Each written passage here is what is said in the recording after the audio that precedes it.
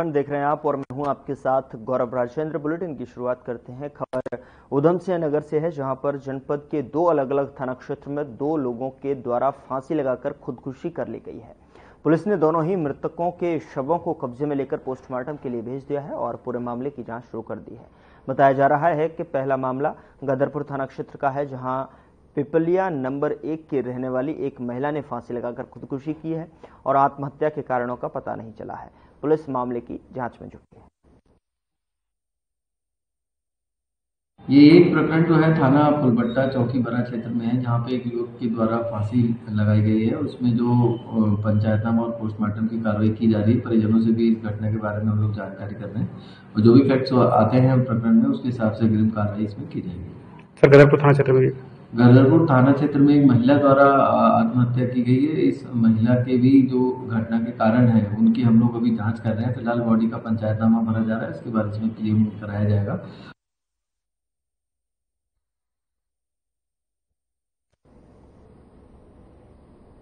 उधर दूनवासियों ने दीपावली पर घरों की खूब सफ़ाई की और इससे करीब 200 से 300 टन अतिरिक्त कचरा हर रोज निकला। यह कचरा कारगी ट्रांसफार्मर पॉइंट पर एकत्र हो गया और अनुमान के मुताबिक सप्ताह भर में लगभग 2000 टन कचरा अतिरिक्त एकत्र हुआ है। अब नगर निगम के सामने इसे जो है समय से शीशमबाड़ा कूड़ा प्लांट पहुँचाने की चुनौती है ताकि कूड़ा उठान की नियमित व्यवस्था हो, को जो है सुचारू रूप से बनाया जा सके।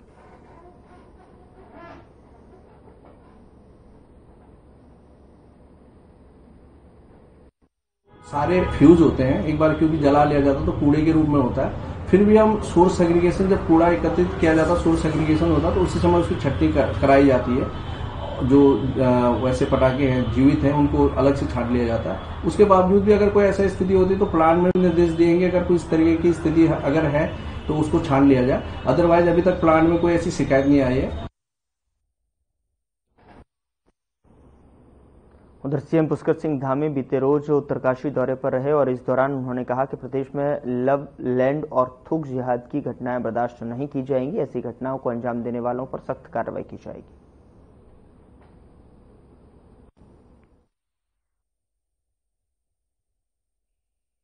देश का सबसे प्रभावी नकल का कानून लागू किया है, जिससे कि युवाओं के साथ कई वर्षों से हो रहे खिलवाड़ पर रोक लगाने में महत्वपूर्ण भूमिका निभाई है और प्रदेश के अंदर नौजवान युवाओं में, प्रतिभागियों में एक विश्वास पैदा हुआ है।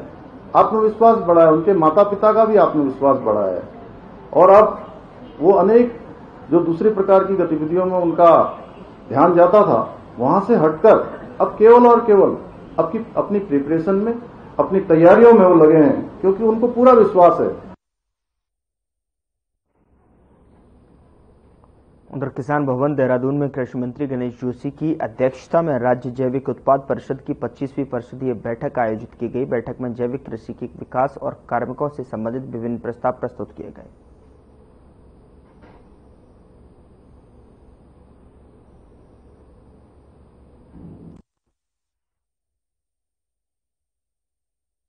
जैविक उत्पाद का और मैंने एक हफ़्ते के अंदर ये बैठक आउट की है। और जो मैंने मंत्रालय से मांगने के बाद डायरेक्टर साहब ने अनुभव लिया है, वो आज बोर्ड के कई माननीय सदस्यों के साथ, अधिकारियों के साथ हमने शेयर किया है। और धामी सरकार का संकल्प है कि 2025 में जब हर राज्य पच्चीस साल का होगा, हम 50 प्रतिशत से अधिक जैविक होंगे। आज हम थर्टी परसेंट ऑर्गेनिक हैं। हमने संकल्प लिया है कि हमारे कम से कम पचानवे ब्लॉक की छियालीस बैंकों को ऑर्गेनिक करेंगे। उधर केदारनाथ उपचुनाव को लेकर कुछ दिन शेष रह गए हैं और ऐसे में बीजेपी और कांग्रेस ने उपचुनाव जीत के लिए एड़ी चोटी का ज़ोर लगाया हुआ है। वहीं विपक्ष केदारनाथ के कई मुद्दों को लेकर सत्ता पक्ष पर हमलावर दिखाई दे रहा है तो वहीं बीजेपी ने भी कांग्रेस पर सनातन को कमज़ोर करने का आरोप लगाया है।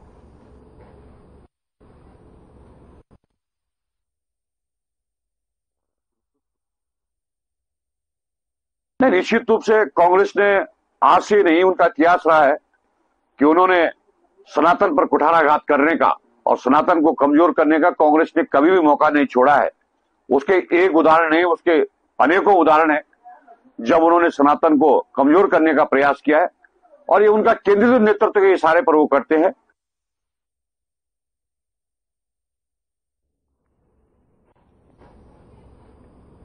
कांग्रेस मुख्यालय देहरादून में कांग्रेस की मुख्य प्रवक्ता गरिमा मेहरा दसोनी ने प्रेस कॉन्फ्रेंस की और कीर्तिनगर में धर्म परिवर्तन मामले में बीजेपी को घेरा है। उन्होंने आरोप लगाया कि इस घटना में भाजपा की सक्रिय सदस्य भी शामिल थी। सोशल मीडिया पर उसकी भाजपा नेताओं के साथ तमाम तस्वीरें हैं। तेईस अक्टूबर को एक बड़ा मामला कीर्ति नगर से सुनने को मिला, जिसमें कि एक लड़की भगाकर उसका धर्मांतरण करने की कोशिश, धर्म परिवर्तन करने की कोशिश बताई गई। और ये अल्पसंख्यक समुदाय की ओर से हिंदू लड़की का धर्म परिवर्तन का मामला पूरा बताया गया। 28 को पुलिस प्रशासन की मौजूदगी में हिंदू संगठनों ने वहाँ तोड़फोड़ का प्रयास किया और लगातार जो है वहाँ की जो स्थिति थी वो तनावपूर्ण बनी रही। लेकिन अब आप देखिए कि समाचार पत्रों में खबर आ रही है, जिन लोगों की गिरफ्तारी या जो लोग नामजद किए गए हैं, उसमें दो लोग तो अल्पसंख्यक समुदाय के हैं, लेकिन एक नाम चौंकाने वाला है।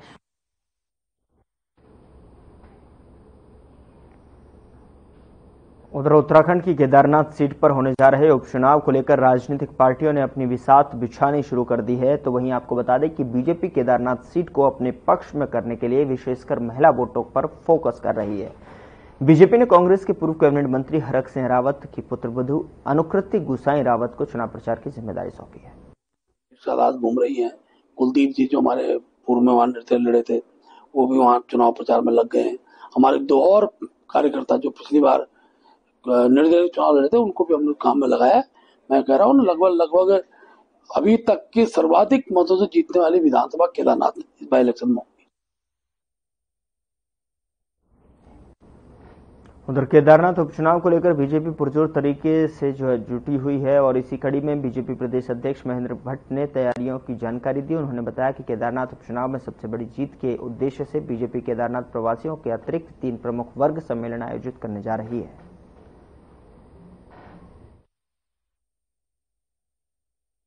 देखिए, भारतीय जनता पार्टी द्वारा बूथ केंद्रित चुनाव रणनीति हमने तैयार की हुई है।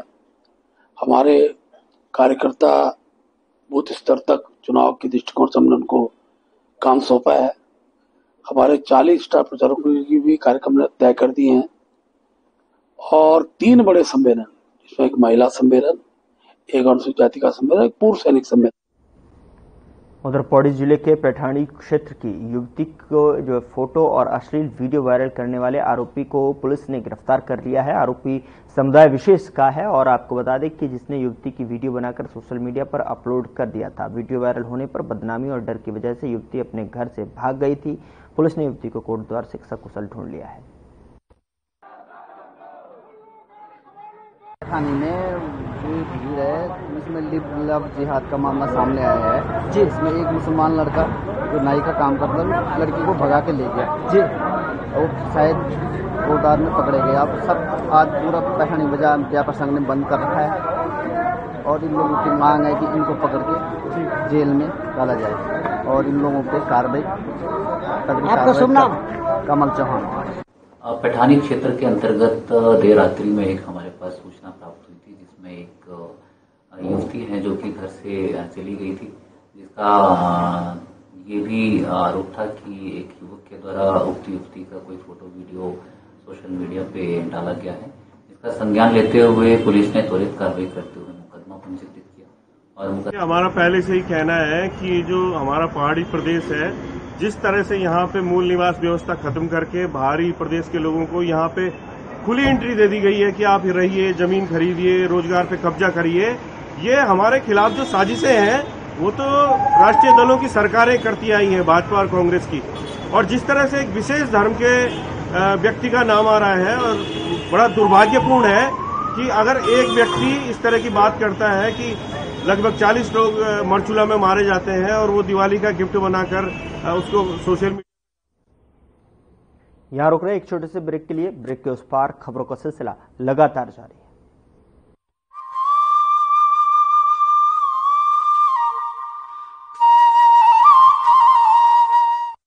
उत्तराखंड ने पकड़ी औद्योगिक विकास की रफ्तार। नए औद्योगिक क्षेत्रों के विस्तार से आएगा निवेश बढ़ेगा रोज़गार। प्रधानमंत्री श्री नरेंद्र मोदी के मार्गदर्शन और मुख्यमंत्री पुष्कर सिंह धामी की दूरदर्शी सोच के चलते प्रदेश में उद्योगों के लिए अनुकूल माहौल तैयार किया गया है। निवेशकों के लिए आकर्षक नीतियाँ लाई गई है। यही वजह है कि हाल ही में आयोजित ग्लोबल इन्वेस्टर्स समिट के दौरान करीब तीन लाख सत्तावन हज़ार करोड़ रुपए के निवेश प्रस्तावों पर हस्ताक्षर हुए हैं। उत्तराखंड सरकार के प्रयासों से राज्य में न सिर्फ़ व्यापक निवेश आ रहा है, बल्कि नए औद्योगिक क्षेत्रों का भी विकास किया जा रहा है। राज्य सरकार के प्रयासों पर मुहर लगाते हुए केंद्र सरकार ने national industrial corridor development programme के तहत ऊधम सिंह नगर ज़िले के खुरपिया में इंडस्ट्रियल स्मार्ट सिटी विकसित करने की मंजूरी दी है। मुख्यमंत्री पुष्कर सिंह धामी का dream project Khurpia industrial city manufacturing का बड़ा केंद्र बनेगा। यहाँ बारह करोड़ रुपए की लागत से 1002 एकड़ भूमि पर उद्योगों की स्थापना की जाएगी। परियोजना के माध्यम से करीब बीस हज़ार करोड़ रुपए का निवेश आकर्षित किया जाएगा, जिससे राज्य में पचहत्तर हज़ार से अधिक युवाओं को प्रत्यक्ष रूप से रोज़गार मिलेगा। खुरपिया औद्योगिक क्षेत्र में automobile industry, auto components engineering और फैब्रिकेशन की इकाइयों पर फोकस किया जाएगा। देश का प्रमुख औद्योगिक गलियारा, अमृतसर कोलकाता इंडस्ट्रियल कॉरिडोर, खुरपिया के करीब से होकर गुजरता है। कॉरिडोर से जुड़ने के कारण खुरपिया की रोड, रेल और एयर कनेक्टिविटी मज़बूत होगी, जिससे औद्योगिक उत्पादों के निर्यात में सुविधा मिलेगी। नए औद्योगिक क्षेत्रों के विकास और व्यापक निवेश आकर्षित करके धामी सरकार सशक्त उत्तराखंड की मज़बूत नींव रख रही है। औद्योगिक विकास ने पकड़ी रफ्तार। बढ़ रहा निवेश, मिलेगा रोज़गार। भारत माता की सुरक्षा में जिन सपूतों ने लहू बहाया है, उनके आश्रितों का दायित्व धामी सरकार ने उठाया है।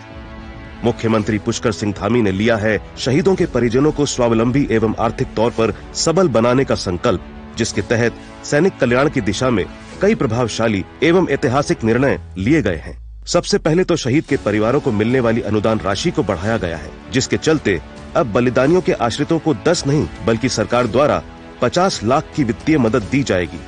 इसके अलावा शहीदों के आश्रितों को सरकारी विभागों में नियुक्ति दी जाएगी। यही नहीं, सरकारी नौकरी के लिए आवेदन करने की समय सीमा को भी दो साल से बढ़ाकर पाँच साल किया गया है। मैं किरण रतूड़ी, शहीद श्री राकेश चंद्र रतूड़ी जी की पुत्री, मुख्यमंत्री श्री पुष्कर सिंह धामी जी का आभार व्यक्त करती हूँ, क्योंकि उनकी सरकार ने कहीं पर भी हमें अकेला नहीं पड़ने दिया। उनकी सरकार द्वारा हमें पूरा सहयोग दिया गया व सम्मान दिया गया। इतना ही नहीं, उत्तराखंड में देश के पहले सैन्य धाम का निर्माण भी करवाया जा रहा है। साथ ही किया जा रहा है, अग्निवीरों के लिए सरकारी सेवाओं में आरक्षण की व्यवस्था का प्रावधान। कहना गलत नहीं होगा कि उत्तराखंड में सैनिक कल्याण को पहली प्राथमिकता दी जा रही है। मैं स्वाति भट्ट शहीद भगवती प्रसाद भट्ट की पत्नी आज उत्तराखंड सरकार का आभार प्रकट करना चाहती हूँ क्योंकि उन्होंने कभी भी हमें अकेले नहीं पढ़ने दिया। सरकारी नौकरी करने का अवसर देकर उन्होंने हमें सशक्त बनाया सुविधाएँ दी व्यवस्थाएँ सुनिश्चित करी। आज हम अपने घरों में अपने प्रदेश में सुरक्षित हैं सुरक्षित नींद ले रहे हैं। सुरक्षित चैन से जी रहे हैं तो केवल और केवल उन्हीं के कारण से जिन्होंने हँसते हँसते अपने प्राणों का बलिदान कर दिया। जिनकी प्रत्येक सांस माँ भारती को अर्पित है, उनके उत्थान के लिए उत्तराखंड सरकार समर्पित है। सूचना एवं लोक संपर्क विभाग उत्तराखंड द्वारा जनहित में जारी।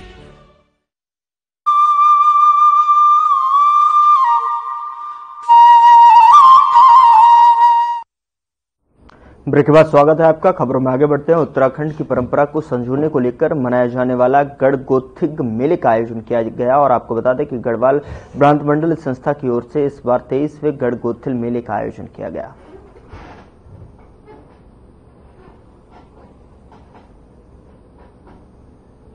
मानसिक संवेदना और इसका जो है दुखद सूचना प्राप्त हुई है इसमें। हमारा राज्य पूरा इसमें शोक की लहर में डूबा डूबा हुआ है। सारा अमला इसमें है। और कोशिश तो ये थी कि हमारी इसमें रह जाए लेकिन इसकी जब भव्य तैयारियाँ हो चुकी हैं। उधर वरिष्ठ पुलिस अधीक्षक नैनीताल प्रहलाद नारायण मीणा ने लालकुआ कोतवाली का वार्षिक निरीक्षण किया और इस दौरान उन्होंने अधिकारियों को भी सभी व्यवस्था दुरुस्त करने के निर्देश दिए।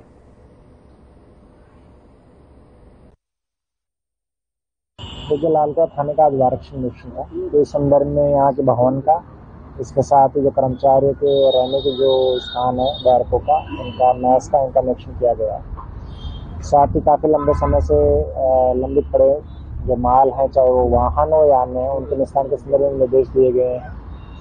तथा साथ ही यहाँ पर रिश्तों के रखा था और अल्मोड़ा ज़िले के मार्शुला के पास कुपी गाँव के नज़दीक एक बस के गहरी खाई में गिरने से 36 लोगों की मौत के बाद अब काशीपुर परिवहन विभाग अलर्ट मोड में दिखाई दे रहा है। बता दें कि काशीपुर परिवहन विभाग पहले से ही डग्गामार वाहनों और ओवरलोड वाहनों पर अपनी नज़र गड़ाए हुए है, लेकिन हृदय घटना के बाद परिवहन अब और ज़्यादा सतर्क है। हमारे काशीपुर बाजपुर जसपुर क्षेत्र में हम लगातार ही जो पैसेंजर व्हीकल उनको भी चेक करते रहते हैं और ओवरलोड के भी चलान लगातार होते रहते हैं, चाहे वो मैजिक हो या बसेज हो या प्राइवेट जो कमर्शियल यूज़ करते हैं, अभी एक गाड़ी सीज हुई है मेरे सामने। वो लगातार वो कार्यवाही चल रही है। और जो मुझे लगता है इस जो दुर्घटना से सीख वाली बात है तो मुझे लगता है कि जिस, जो समय होते हैं, जब उधम सिंह नगर जनपद के पुलभट्टा थाना और ए एन टी एफ़ की टीम के संयुक्त रूप से जो कार्रवाई करते हुए दो सौ पचहत्तर ग्राम स्मैक के साथ दो तस्करों को गिरफ़्तार किया गया है। टीम के द्वारा पुलभट्टा थाने में दो तस्करों के खिलाफ एनडीपीएस एक्ट के तहत मुकदमा दर्ज कराया गया है। ये उधम सिंह नगर की पुलिस पुलभट्टा थाना की और एसटीएफ की मदद से दो तस्कर बीरपाल और शेर सिंह, इन दोनों को कल गिरफ़्तार किया गया। इनसे दो सौ तिहत्तर ग्राम स्मैक बरामद हुई। उत्तराखंड में अड़तीसवें खेलों के आयोजन की तिथि को भारतीय ओलंपिक संघ ने अंतिम मोहर लगा दी है। साथ ही आपको बता दें कि यह खेल अट्ठाईस जनवरी से लेकर 14 फरवरी तक आयोजित किए जाएँगे। भारतीय ओलंपिक संघ के अध्यक्ष पीटी उषा ने मुख्यमंत्री पुष्कर सिंह धामी को पत्र लिखकर यह जानकारी साझा की है।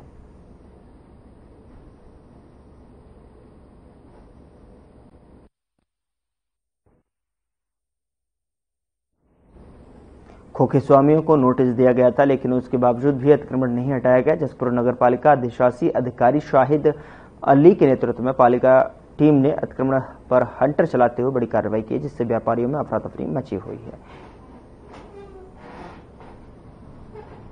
परिषद को शिकायत प्राप्त हो रही थी कि शहर में अतिक्रमण होने की वजह से रास्ते जाम हो रहे हैं जगह जगह बाधा उत्पन्न हो रही है, इसके लिए जो है विशेष अभियान चलाया जा रहा है। और आज हमारे द्वारा सुभाष चौक से लेकर जीजीआईसी होते हुए सरकारी अस्पताल तक अभियान चलाया गया। और उसके बाद जो ठाकुर द्वारा अफजलगढ़ बस स्टैंड पर भी अभियान चलाया गया, उसमें लगभग बीस खोखो उधम सिंह नगर के रुद्रपुर में एक रसूखदार व्यवसायी की पत्नी को दीपावली पर लाइसेंसी पिस्टल से हवा फायरिंग करना महँगा पड़ गया। सोशल मीडिया पर अपलोड की गई फायरिंग की वीडियो का संज्ञान लेकर पुलिस ने व्यवसायी की पत्नी के खिलाफ केस दर्ज कर पिस्टल का लाइसेंस निरस्त करने की कार्रवाई शुरू कर दी है।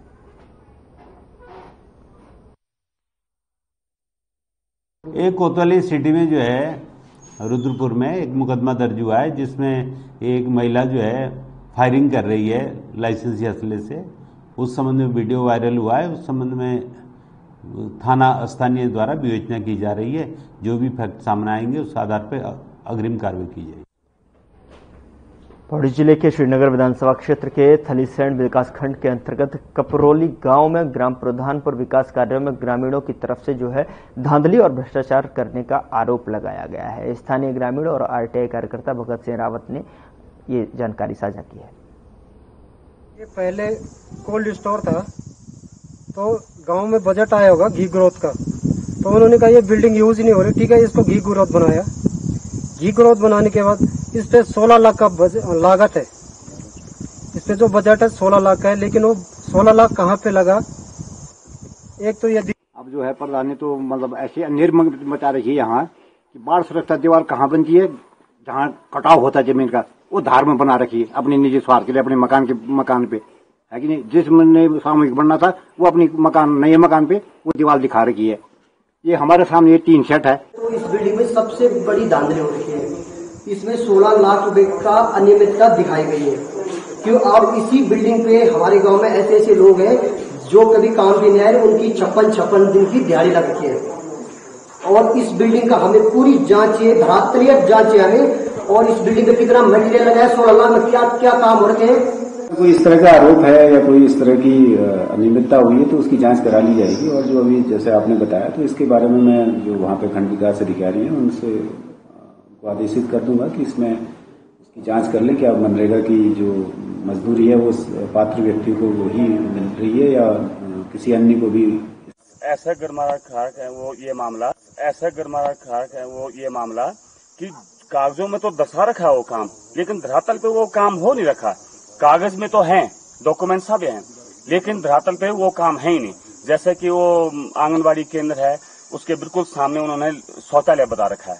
लैट्रिन बाथरूम बता इसकी कटिंग हुई है कटिंग के दौरान ही गिरा है। ये मेरे को आप पता लगा जब ये बोर्ड लगा है ना एक लाख रुपए एक लाख रुपए से मुझे कोई मतलब नहीं है कि मेरे खाते में एक पैसे भी नहीं आया। इसका मतलब मेरे को दस लाख से ऊपर बढ़ गए है कि नहीं? मेरे साथ चार सौ बीसी हुई है। ऊपर से मेरे को धमकी भी दी दी जा रही है। मेरे बच्चों को भी धमकी दी जा रही है। अभी मेरा काम पेंडिंग है। बहुत काम माध्यम से हमारा जो गाँव में जो कार्य चल रहा है अच्छे से आपने आज दिखाया है। और इसमें जो घोटाले हो रखे हैं वो बहुत ज़्यादा हो रखे हैं गाँव में। बेरोजगारी बहुत ज़्यादा हो रखी है और अमेरिका के राष्ट्रपति चुनाव में डोनाल्ड ट्रंप को जीत मिली है। डोनाल्ड ट्रंप को अमेरिकी चुनाव में मिली जीत का जश्न भारत में भी देखने को मिल रहा है। उत्तराखंड के हरिद्वार में साधु संतों ने ट्रंप की जीत पर खुशी ज़ाहिर की। महामंडलेश्वर स्वामी वेदमूर्तिनंद महाराज ने डोनाल्ड ट्रंप को जीत की बधाई दी।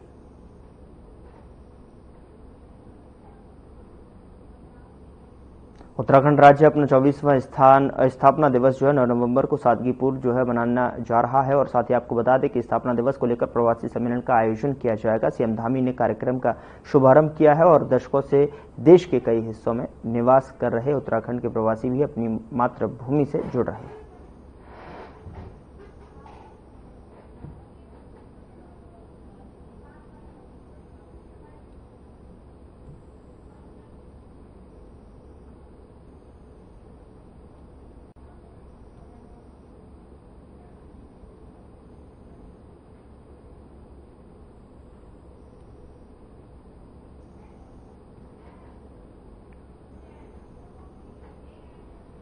छठ महापर्व की शुरुआत दीपावली के छह दिन के बाद से शुरू हो जाती है और इसमें सूर्यदेव और षष्ठी देवी की पूजा कर विशेष महत्व रहता है। हर साल की तरह इस साल भी बिहारी महासभा द्वारा छठ का पर्व बड़े ही धूमधाम से मनाया जा रहा है। बता दें कि बिहारी महासभा ने इसकी तैयारियाँ पहले से ही करनी शुरू कर दी थी। छठ पूजा की शुरुआत पाँच नवंबर से नहाय खाए से हुई है और उसके बाद छठ पूजा के दूसरे दिन छह नवंबर बुधवार को खरना का प्रसाद ग्रहण किया गया।